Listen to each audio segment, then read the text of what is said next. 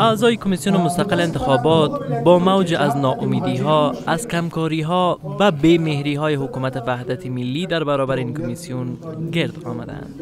از حکومت افغانستان می‌خواهیم که 20 روزان نزدیک است که با پایان برسد. اگر در خلال 20 روز یک نفر یک عضو به کمیسیون مستقل انتخابات معرفی نشود کمیسیون انتخابات داخلی هیئت اداری خود می‌کنه و کارا به شکل نرمال انشاءالله ادامه پیدا می‌کنه کمیسیون مستقل انتخابات به این باور است که اگر حکومت منابع مالی را فراهم بسازد و نیز امنیت را تأمین کند انتخابات در زمان معین آن برگزار خواهد شد.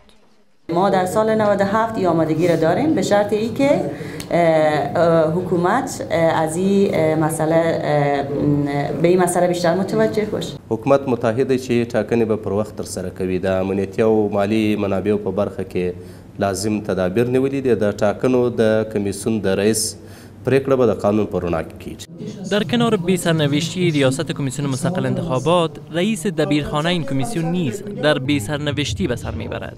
ما یک کارمند دولت هستم. در صورت ضرورت اگر رئیس جمهور و هیچ منافع ملی در مورد تبدیلی ما تامین شه ما هیچ حرف برای گفتن نداریم.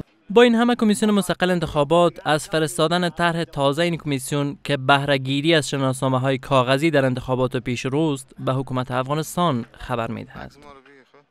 طرح با دولت افغانستان به وزارت مالیه به خاطر تهیه بودجه که به زودترین فرصت در دسترس کمیسیون باید قرار بده به اونا هم ارسال گردیده کمیسیون مستقل انتخابات به تازگی ارزیابی مرکزهای رایدهی را به پایان رسانیده است و بیش از 7350 مرکز رایدهی را نهایی ساخته است. اما بیش از 1740 مرکز به علت ناامنی ها از ارزیابی ها باز ماندند که 24 درصد مرکزهای رایدهی را می سازند.